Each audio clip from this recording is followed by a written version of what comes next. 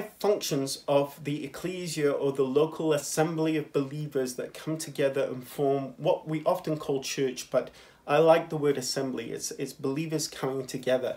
And we've looked at the first function of the ecclesia is to make disciples, and those disciples should grow into Christ likeness, being fruit bearing trees, in holiness with right doctrine, countering that which is false and the bad influence, and, and getting rid of it and dealing with the false teachings that come in, holding each other accountable and submitting to one another in the fear of Christ. And if we do that, we come into holiness and we start to walk holy, and therefore we become worshippers. And, and worship is the second function of the ecclesia that we're looking at. The question that I want to begin with is what is worship? There are churches that pride themselves on being churches where they have excellent worship.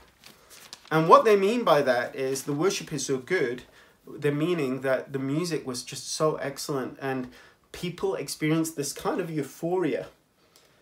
And that is not worship.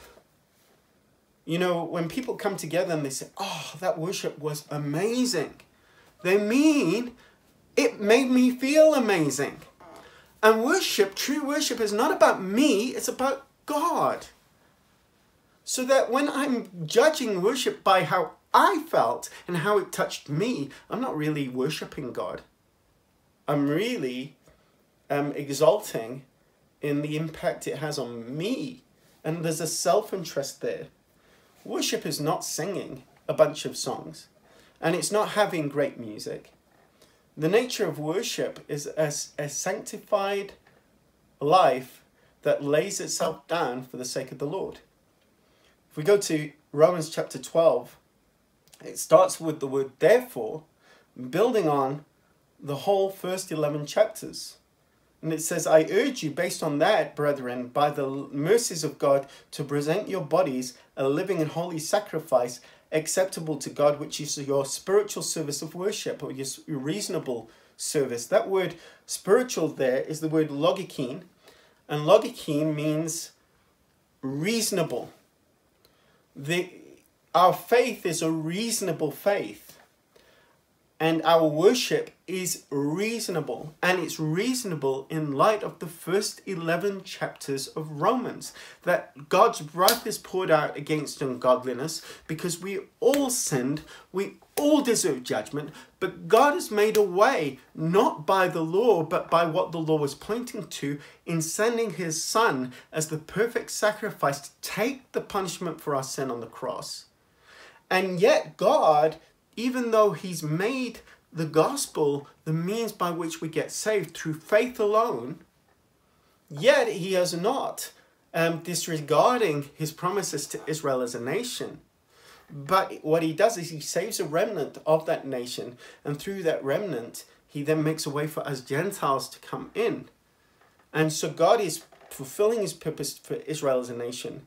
But not only that, but he hardened the nation, a great portion of the nation, in order that we Gentiles who believe may come in. And that hardness is for our salvation, but our salvation then provokes them to jealousy. But at the end of that, God finds a way to bring the rest of the nation, the remnant of the nation of the end time, back into their own olive tree. So he hardens them to show mercy to us, and he shows mercy to us in order to show mercy to them. And the complexity of these 11 chapters, which are so dense, lead Paul at the end of it to turn around and say, Oh, the depth of the riches, both of the wisdom and the knowledge of God. How unsearchable are his judgments, how unfathomable are his ways. In other words, Paul saying, I have understood so much of the gospel. I have expounded it in such a dense way, and yet I'm just scratching the surface. His ways are unfathomable and beyond searching out. And in light of that, he says, Therefore, I urge you by the mercy of God, present your bodies as a living and holy sacrifice meaning it is the reasonable thing to do. I love the hymn that says, um, When I survey the wondrous cross on which the Prince of Glory died, my richest gain I count but loss, and pour contempt on all my pride. And the last verse says this Were the whole realm of nature mine, that were an offering far too small. Love so amazing, so divine, demands my soul, my life, my all. That word demands there is not because God is there demanding us, you better do this.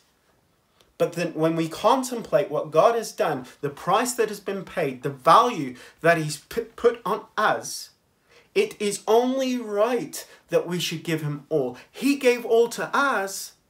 Therefore, there is a moral imperative for us to respond in like manner and give all for Him. That's what He's saying here. It is reasonable for us to present our bodies as a living and holy sacrifice in light of what God has done.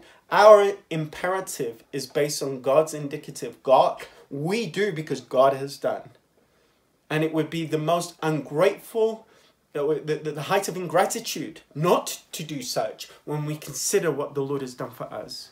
It is reasonable and it's our reasonable service. My translation says service of worship, but the Greek word is latreian, which means worship or service. It's, it's, it means both. And this is the thing that worship is not coming together on a Sunday morning to sing songs to God. Worship is a, a crucified life, a life that says no to sin. When I say no to sin and I fight temptation, I worship God just by doing that. When God is saying, do this and I obey him, I'm, I am worshiping God. When I um, allow my my private time or my um, my leisure time to be intruded on for the sake of the kingdom. I am worshiping God. That is worship. And so when I live that and I come together on the Sunday and I sing, it's an expression of the worship that I've given to God in the week. Worship is not mere escape from life. Worship is the outflow of a committed life to God. And we are to corporately worship. We're to corporately express that worship. I want to read Colossians chapter 3, verses 16 and 17. Let the word of Christ richly dwell within you with all wisdom, teaching and admonishing one another. This means that there is participation. I need to speak. And how do I teach and how do I admonish? It says with psalms and hymns and spiritual songs, singing with thankfulness in your hearts to God. And whatever you do in word or deed, do all in the name of the Lord Jesus, giving thanks to the, through him to God the Father. That I teach even when I sing a song to the Lord with thankfulness in my heart. It's got to be in the name of Jesus Christ, Jesus the Messiah, Yeshua, the Lord who saves. It's got to be according to who he is, his character, and his finished work. His work and his teaching informs my praise, that what I sing should be in accordance with Scripture. It's in his name. But it's with thankfulness. There is a heart of gratitude. And that becomes very, very important when we come into adversity, that we cultivate worship, adoration, and gratitude to the Lord. It's one thing to worship God when things are going well.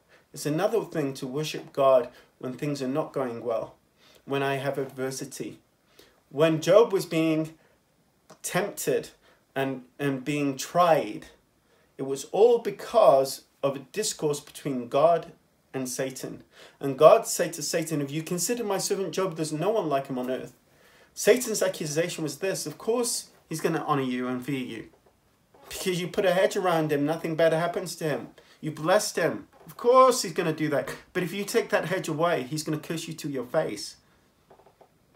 And so when when Job was tried and he said, The Lord gives and the Lord takes away, blessed be the name of the Lord he was proving that he really did love the Lord because he wasn't serving God for what he could get out of God, was serving God because God deserved to be worshipped and honored and obeyed.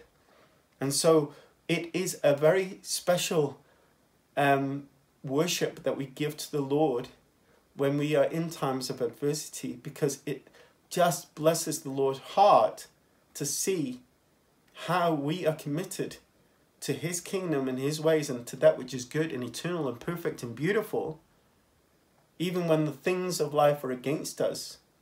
And at the end of it, God honored Job so much that he restored everything back to him double to what he lost, even his own children. He got he lost seven children, but he gained seven more. It was double. For even though he lost his seven children, one day he will see them again. And so we need to corporately express that worship to the Lord because by doing so, we teach one another. We are to corporately worship in a way that blesses the Lord's heart because it's according to his character with the right attitude. Attitude matters.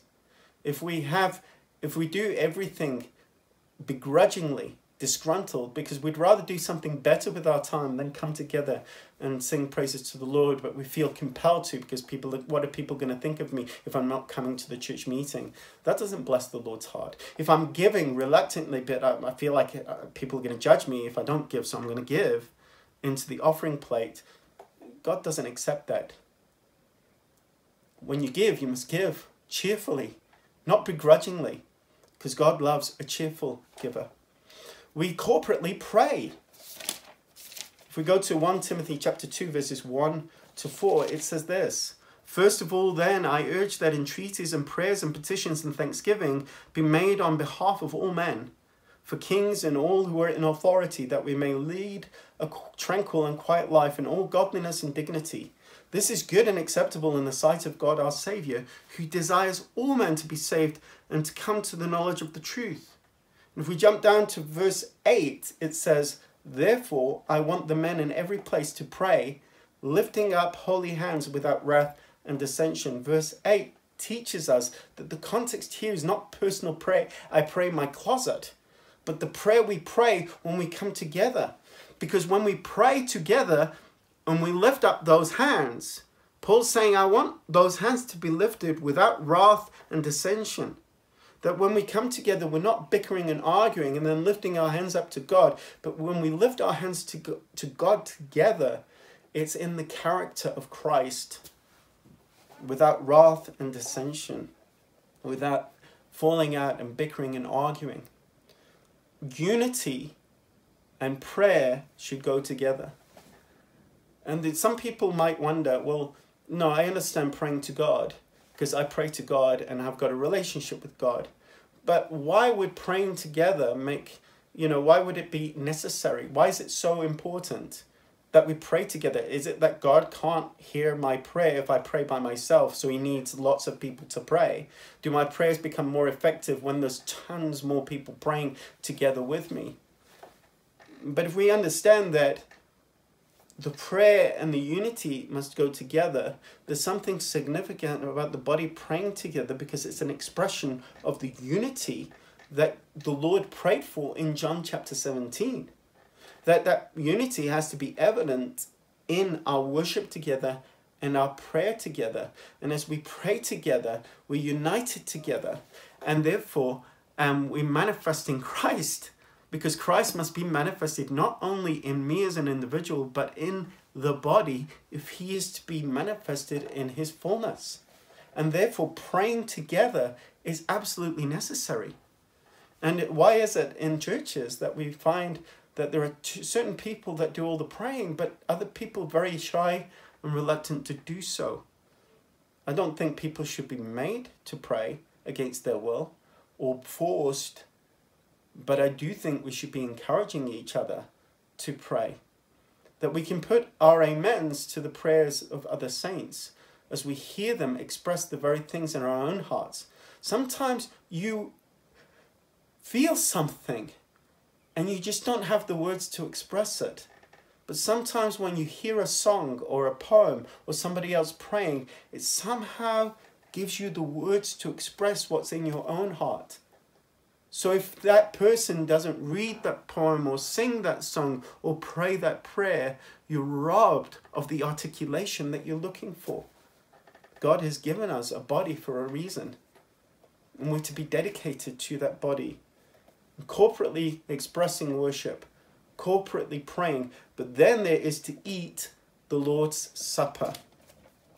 We see in Acts 2, verse 42, that the early church was committed to four things. When I say committed, they were devoted. They're devoted to teaching, which those of us who believe in good Bible teaching, we emphasize that to the nth degree.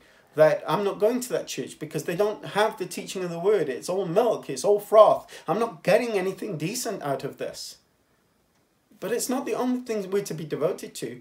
We're also to be devoted to fellowship, to breaking of bread and prayer. And the breaking of bread what did it mean in that context? They were breaking bread from house to house, taking their meals together with gladness.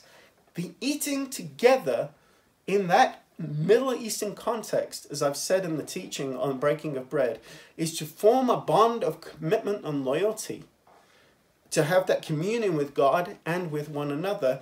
That though we are many, we are one body because we all partake of the one bed. It's also part of the unity that God is formulating in the body it's very interesting that when you have family over, do you not eat together?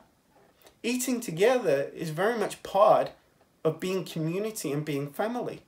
So if we don't really experience that in the body, we're not really living as family. And the whole thing of eating together is not so that we can have a meal together, but the, the centerpiece of those love feasts of that celebration is the Lord's Supper. That this is not just a feast for the sake of having a feast, but this is a feast in order to remember what the Lord has done. And it is a rehearsal, a dress rehearsal for the marriage supper of the Lamb. Normally, when you have a wedding, you will have a walkthrough of that wedding so that everyone knows what place they're to position and how they're to walk in, so that when it actually happens, it goes smoothly. Well, every love feast that we have is a dress rehearsal for the marriage supper of the Lamb. And it's a foretaste of that which is to come, and it is to excite us and to make us desire the coming of the Lord even more.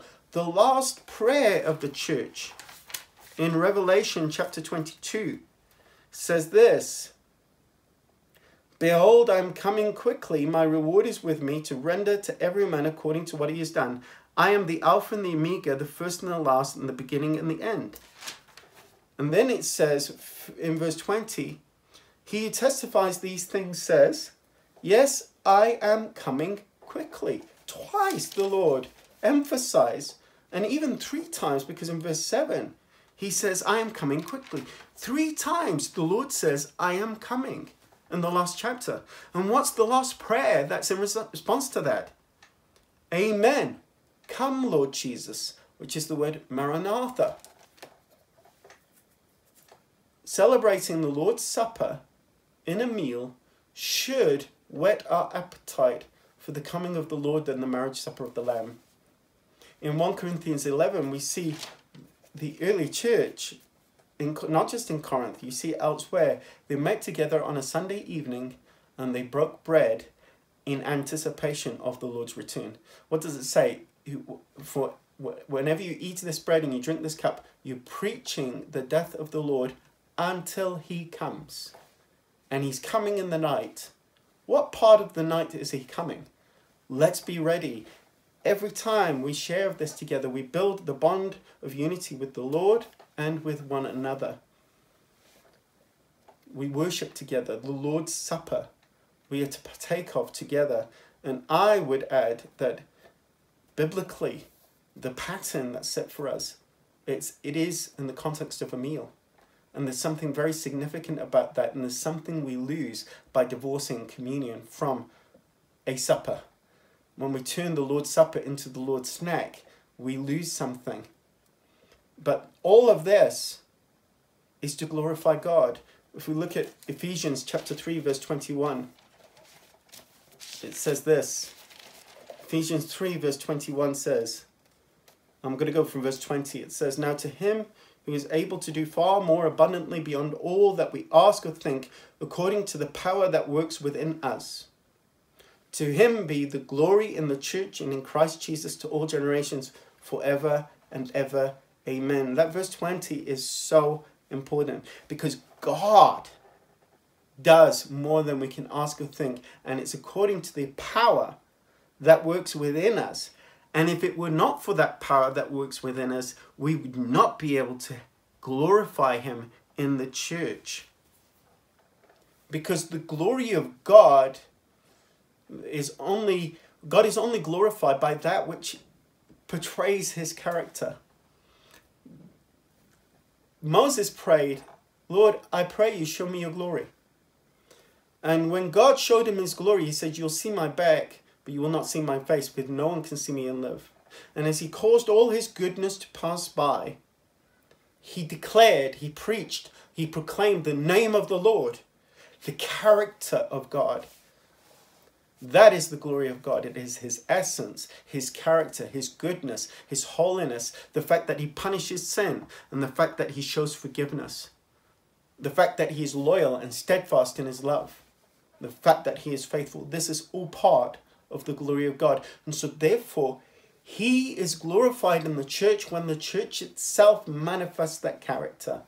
And that church can only manifest that character if it is the power of God that is at work within us to form it in us. Jesus said, Abide in me, and I in you, for apart, and you will bear much fruit. For apart from me, you can do nothing. And so, discipleship is necessary for worship to be classed as true worship in order that God may truly be glorified. And as we are experiencing that in the body, we discipleship and worship then must be expressed in the activity of building one another up. And that's the third part that we'll look at in the next session. The third function of the ecclesia is edification. Thank you.